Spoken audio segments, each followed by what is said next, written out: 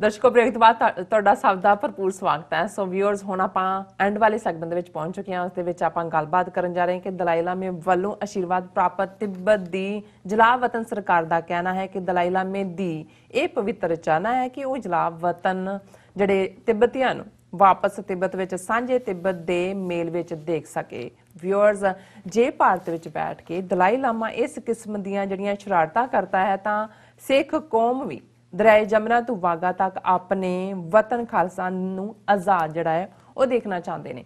ਸੋ ਜੇ ਭਾਰਤ ਦਲਾਈ ਲਾਮੇ ਦੀ ਮਦਦ ਕਰ ਸਕਦਾ ਹੈ, ਤਾਂ ਚੀਨ ਤੇ ਪਾਕਿਸਤਾਨ ਖਾਲਿਸਤਾਨ ਦੀ ਆਜ਼ਾਦੀ ਦੀ ਹਮਾਇਤ ਕਿਉਂ ਨਹੀਂ ਕਰ ਸਕਦਾ?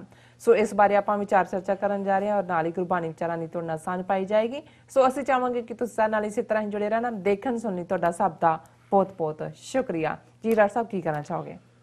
ਦੇਖੋ ਜਦੋਂ ਅਸੀਂ ਅ, ਹੁਣ ਪਿਛਲੇ ਵਕਤ 'ਚ ਪਾਕਿਸਤਾਨ ਦੀ ਹਕੂਮਤ ਮੀਡੀਆ ਆਵਾਮ ਨੂੰ ਅਪੀਲ ਕੀਤੀ ਕਿ ਤੁਸੀਂ ਇਸ ਵੇਲੇ ਸਾਡੀ ਮਦਦ ਕਰੋ ਬਿਲਕੁਲ ਤੇ ਜ਼ਾਹਰ ਹੈ ਕਿ ਇਸ 'ਚ ਇੱਕ اخلاقی ਜਿਹਨੂੰ ਅਸੀਂ ਮੋਰਲ ਸਪੋਰਟ ਕਹਿੰਦੇ ਹਾਂ ਉਹ ਪਲੱਸ ਡਿਪਲੋਮੈਟਿਕ ਲੈਵਲ ਤੇ ਯੂਐਨ ਦੇ ਲੈਵਲ ਤੇ ਜਾਂ ਹਿਊਮਨ ਰਾਈਟਸ ਦੇ ਮੁੱਦੇ ਤੇ ਇੰਟਰਨੈਸ਼ਨਲ ਪਲੇਟਫਾਰਮ ਤੇ ਆਵਾਜ਼ ਚੁੱਕਣ ਦੀ ਗੱਲ ਸੀ। ਜੀ ਜਿੱਥੋਂ ਤੱਕ ਦੂਸਰੇ ਪਾਰਟ ਦਾ ਤਾਲੁਕ ਹੈ ਉਹ ਅਸੀਂ ਕੌਮ ਦੇ ਉੱਤੇ ਗੁਰੂ ਦੀ ਰਹਿਮਤ ਹੈ ਅਸੀਂ ਸਮਰੱਥ ਹਾਂ ਬਾਕੀ ਆਪਣੀਆਂ ਪ੍ਰੋਬਲਮਸ ਨੂੰ ਹੈਂਡਲ ਕਰਨ ਦਾ।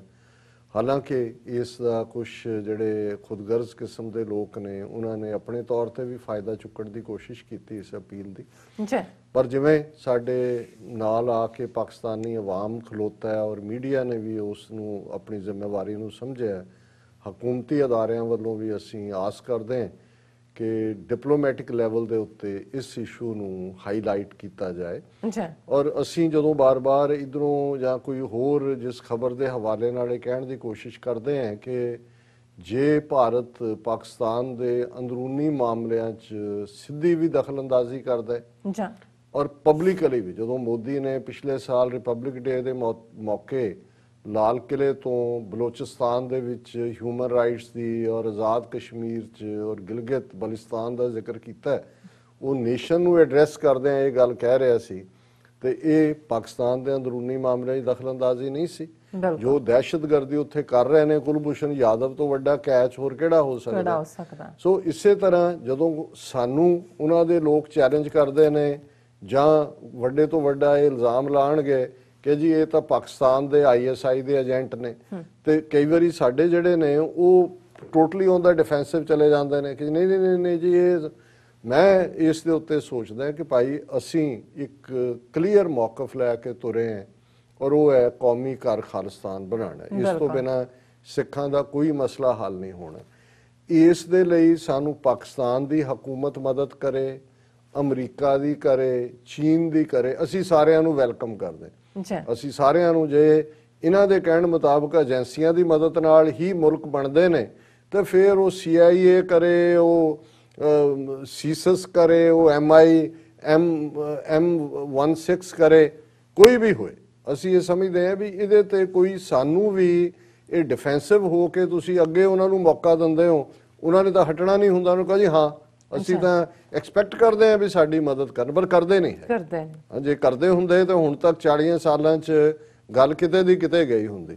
ਸੋ ਇਸ ਪਾਰਟ ਨੂੰ ਅਸੀਂ ਇਹ ਦੇਖਦੇ ਹਾਂ ਵੀ ਲੇਟਲੀ ਤਿੱਬਤ ਦਾ ਜਿਹੜਾ ਇਸ਼ੂ ਹੈ ਉਹ ਵਾਪਸ ਅਮਰੀਕਾ ਨੇ ਔਰ ਭਾਰਤ ਨੇ ਫਰੰਟ ਬਰਨਰ ਤੇ ਲਿਆਂਦਾ ਦਾ ਮਕਸਦ ਚਾਈਨਾ ਨੂੰ ਕਿਉਂਕਿ ਕੰਟੇਨ ਚਾਈਨਾ ਪਾਲਿਸੀ ਹੈ ਅਮਰੀਕਾ ਦੀ। ਭਾਰਤ ਜਿਹੜਾ ਉਹ ਭਾਵੇਂ ਬੱਗੀ ਅੱਖੀ ਮਰੇਗਾ ਉਹ ਰੋਲ ਪਲੇ ਕਰ ਰਿਹਾ ਔਰ ਦਲਾਈ ਲਾਮਾ ਜਿਹਦੇ ਇਸ਼ੂ ਤੇ ਜਦੋਂ ਟਰੰਪ ਦੇ ਪਹਿਲੇ ਸਾਲ ਸੀ ਉਹਨਾਂ ਨੇ ਤਾਂ ਜਿਹੜੀ ਏਡ ਉਹਨੂੰ ਦੰਦੇ ਸੀ ਉਹਨਾਂ ਦੇ ਉੱਥੇ ਬੈਠਿਆਂ ਨੂੰ ਉਹ ਵੀ ਉਹਨੇ ਘਟਾਤੀ ਸੀ ਉਹ ਮਿਲਿਆ ਵੀ ਨਹੀਂ ਦਲਾਈ ਲਾਮੇ ਨੂੰ। ਪਰ ਹੁਣ ਜਾਣ ਤੋਂ ਪਹਿਲਾਂ ਪਹਿਲਾਂ ਤੁਸੀਂ ਦੇਖਦੇ ਹੋ ਕਿ ਉਹਨਾਂ ਦਾ ਜਿਹੜਾ ਤਿੱਬਤੀਅਨਸ ਦਾ ਗਵਰਨਮੈਂਟ ਇਨ ਐਗਜ਼ਾਈਲ ਜਿਹਦਾ ਹੈੱਡਕੁਆਰਟਰ ਧਰਮਸ਼ਾਲਾ ਬਣਾਇਆ ਹੋਇਆ ਹੈ ਦਲਾਈ ਲਾਮਾ ਉੱਥੇ ਬੈਠਾ ਹੈ ਉਹਨੂੰ ਚੇਚਾ ਸੱਦਿਆ ਉਹਨੇ ਕਿਹਾ ਜੀ ਸਾਡੀ ਗਵਰਨਮੈਂਟ ਨੂੰ 60 ਸਾਲ ਚ ਪਹਿਲੀ ਵਾਰ ਮਾਨਤਾ ਮਿਲੀ ਹੈ ਕਿਉਂਕਿ 1959 ਚ ਦਲਾਈ ਲਾਮਾ ਨਿਕਲਿਆ ਸੀ। ਕਦੇ ਵੀ ਉਹਨਾਂ ਦੀ ਦਲਾਈ ਲਾਮੇ ਨੂੰ ਤਾਂ ਐਜ਼ ਅ ਰਿਲੀਜੀਅਸ ਬੈਕਡੋਰ ਚ ਮਿਲ ਲੈਂਦੇ ਸੀ। ਉਹ ਵੀ ਵਾਈਟ ਹਾਊਸ ਕਦੇ ਸਾਹਮਣੇ ਦੇ ਦਰਵਾਜ਼ੇ ਤੋਂ ਨਹੀਂ। ਟਰੰਪ ਦਾ ਉਹ ਵੀ ਨਹੀਂ ਮਿਲਿਆ। ਲੇਕਿਨ ਇਹਨੂੰ ਸੱਦ ਕੇ ਕਹਿਣਾ ਇਹ ਬੜਾ ਕਲੀਅਰ ਸੀ ਕਿ ਵੀ ਬੈਠਾ ਉਹ ਧਰਮਸ਼ਾਲਾ ਹੋਇਆ ਇੰਡੀਆ ਦੇ ਵਿੱਚ ਔਰ ਇਹ ਕਰ ਰਹੇ ਨੇ ਕਿ ਵੀ ਇਹਨਾਂ ਨੇ ਉਹਨੂੰ ਕਰਨਾ।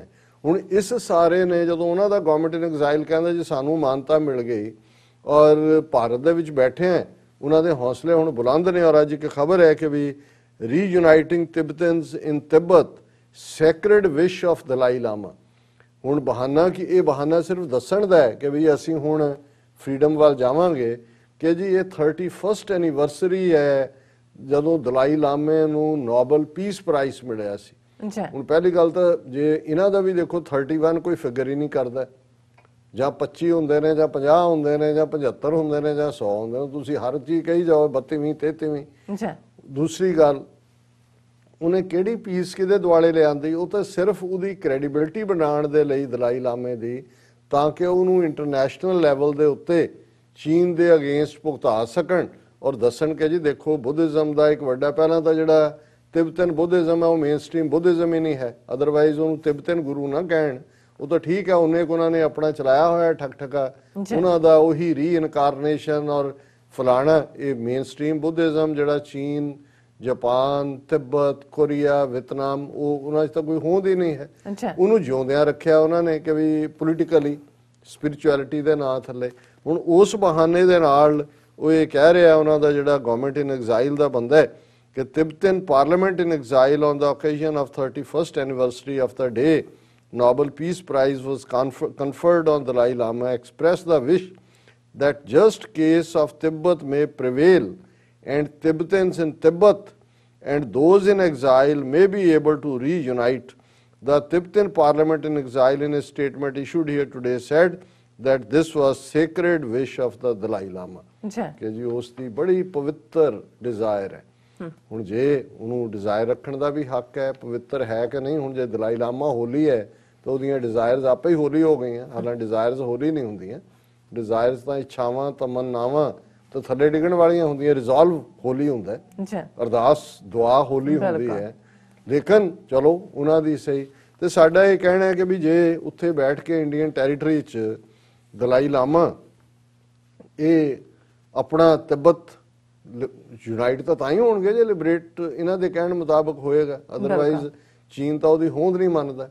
ਤੇ ਫਿਰ ਸਾਡੀ ਕਿਉਂ ਨਹੀਂ ਖਾਲਿਸਤਾਨ ਦੇ ਲਈ ਇਕੱਲੀ ਡਿਜ਼ਾਇਰ ਨਹੀਂ ਅਸੀਂ ਤਾਂ ਰਿਜ਼ੋਲਵ ਵੀ ਹੈ ਉਹਦੇ ਲਈ ਅਲਟੀਮੇਟਲੀ ਸਾਡਾ ਕਾਜ਼ ਵੀ ਹੈ ਔਰ ਅਸੀਂ ਇਹ ਆਸ ਹੀ ਕਰਦੇ ਹਾਂ ਕਿ ਭਾਈ ਉਹ ਚੀਨ ਹੋਏ ਪਾਕਿਸਤਾਨ ਹੋਏ ਕੋਈ ਹੋਰ ਦੁਨੀਆ ਦਾ ਮੁਲਕ ਚੀਨ ਪਾਕਿਸਤਾਨ ਦੀ ਗੱਲ ਕਿਉਂਕਿ ਸਾਡੇ ਖਿੱਤੇ ਦੇ ਮੁਲਕ ਨੇ ਗਵਾਂਢੀ ਨੇ ਸਾਡੇ ਬਫਰ। ਸਟੇਟ ਉਹਨਾਂ ਦੇ ਵੀ ਫਾਇਦੇ ਚ ਹੈ ਕਿ ਭਾਈ ਆ ਕੁੰਡ ਕੱਢਣ ਵਾਲੀ ਬੰਦ ਇਹਨਾਂ ਤੋਂ ਕੁੰਡ ਕੱਢ ਕੇ ਵੀ ਨਹੀਂ ਦੇਖਿਆ ਕਦੇ।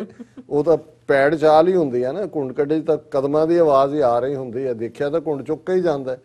ਵੀ ਹੁਣ ਤੁਸੀਂ ਚੁੱਕਦੇ ਹੋ ਕੁੰਡ ਬਥੇਰਾ ਇਹਨਾਂ ਨੇ ਜਿਹੜਾ ਇੰਡੀਆ ਨੇ ਤੁਹਾਡਾ ਜਿਹੜਾ ਉਹ ਚੀਨ ਹੋਏ ਪਾਕਿਸਤਾਨ ਹੋਏ ਇਹਨਾਂ ਨੇ ਕਿਹੜੀ ਕਸਰ ਬਾਕੀ ਛੱਡੀ ਹੈ? ਅੱਛਾ। ਸੋ ਹੁਣ ਆਪਾਂ ਅੱਜ ਦੇ ਵਿਚਾਰ ਤੇ ਆਉਂਦੇ ਹਾਂ ਜਿਹੜਾ ਸਾਹਿਬ ਕੀ ਕਹਿਣਾ ਚਾਹੋਗੇ? ਸੋ ਜਿਵੇਂ ਅਸੀਂ ਰੋਜ਼ਾਨਾ ਕਬੀਰ ਸਾਹਿਬ ਦੀ ਬਾਣੀ ਦੇ ਜਿਹੜੇ ਸ਼ਲੋਕ ਵਿਚਾਰਦੇ ਹਾਂ ਔਰ ਅੱਜ ਵੀ ਦੋ ਸ਼ਲੋਕ ਜਿਹੜੇ ਅਸੀਂ ਵਿਚਾਰ ਦੇ ਲਈ ਚੁਣੇ ਨੇ। ਔਰ ਇੱਕ ਪਹਿਲਾ ਹੈ ਬੂਢਾ ਬੰਸ ਕਬੀਰ ਦਾ 115 ਨੰਬਰ ਸ਼ਲੋਕ ਹੈ। ਅੱਛਾ।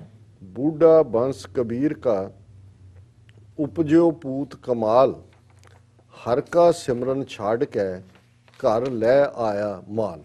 ਅੱਛਾ। ਹੁਣ ਬਹੁਤ ਵਾਰ ਦੋ ਤਰ੍ਹਾਂ ਦੀ ਇੰਟਰਪ੍ਰੀਟੇਸ਼ਨ ਬਾਣੀ ਦੀ ਹੈ।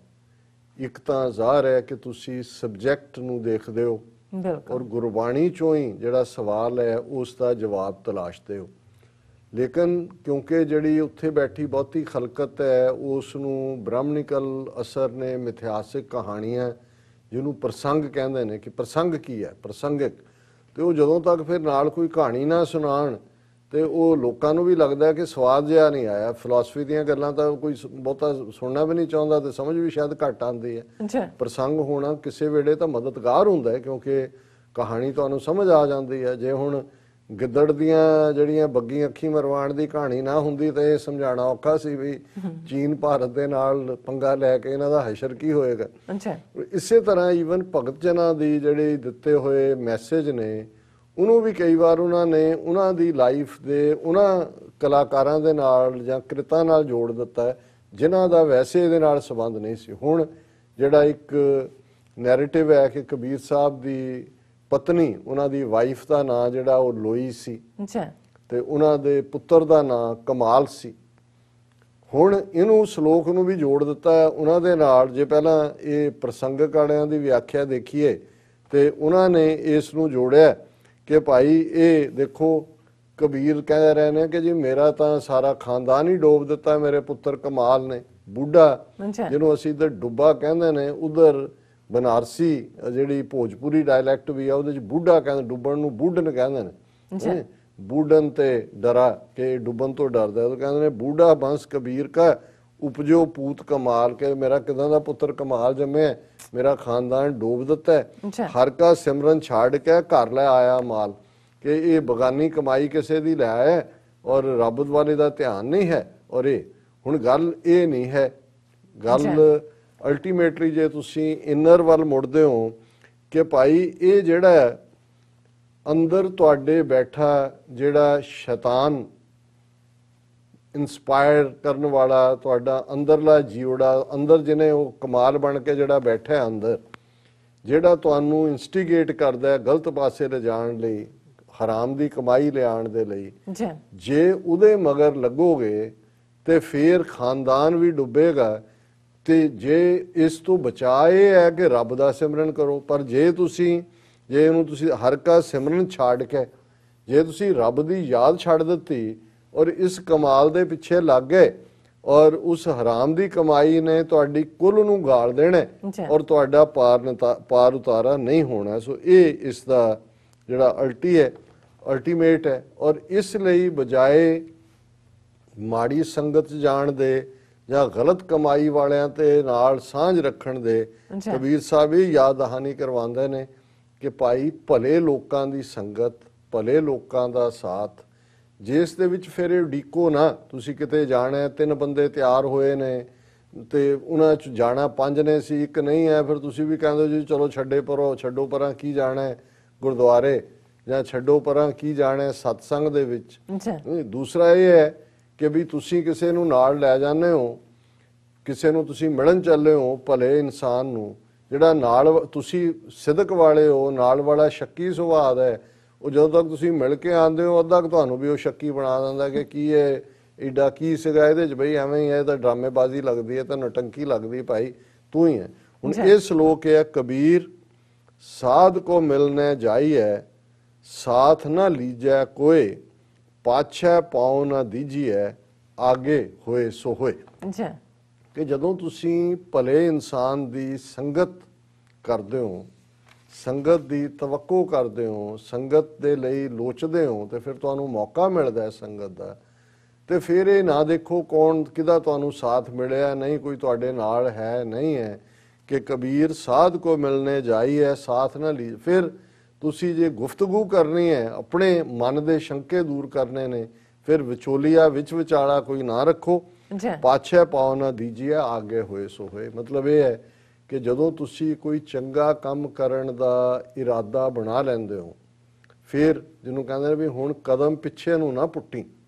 ਮਤਲਬ ਇਹ ਹੈ ਕਿ ਵੀ ਇਹ ਸਾਧ ਲਈ ਹੈ। ਵੈਸੇ ਜਦੋਂ ਅਸੀਂ ਦੇਖਦੇ ਹਾਂ ਕਿ ਇਹ ਗੱਲ ਬੜੀ ਠੀਕ ਹੈ ਕਿ ਇੱਕ ਤੁਹਾਡੀ 1 ਟੂ 1 ਗੁਫ਼ਤਗੂ ਹੁੰਦੀ ਹੈ ਇੱਕ ਗਰੁੱਪ ਦੇ ਵਿੱਚ ਹੁੰਦੀ ਹੈ। ਗਰੁੱਪ ਦੇ ਵਿੱਚ ਵੀ ਲਾਈਵਬੰਦੀ ਹੁੰਦੀ ਹੈ ਜਦੋਂ ਕੁਝ ਲੋਕਾਂ ਦੇ ਸ਼ੰਕੇ ਨੇ ਸਵਾਲ ਨੇ ਕਿਸੇ ਮੁੱਦੇ ਤੇ ਤੁਸੀਂ ਕਿਸੇ ਨੂੰ ਮਿਲਣ ਜਾਂਦੇ ਹੋ ਮੈਂ ਰੂਹਾਨੀਅਤ ਨਹੀਂ ਦੂਸਰੇ ਵੀ ਕਰਦੇ ਹਾਂ, ਤੇ ਉਹਦੇ 'ਚ ਇਹ ਹੁੰਦਾ ਵੀ ਫੇਰ ਉਹ ਇੱਕ ਇੰਟਰੈਕਸ਼ਨ ਹੁੰਦਾ ਉਹਦੇ 'ਚ ਸਾਰਿਆਂ ਨੂੰ ਹੱਕ ਹੁੰਦਾ ਬਰਾਬਰ ਕਰਨ ਦਾ।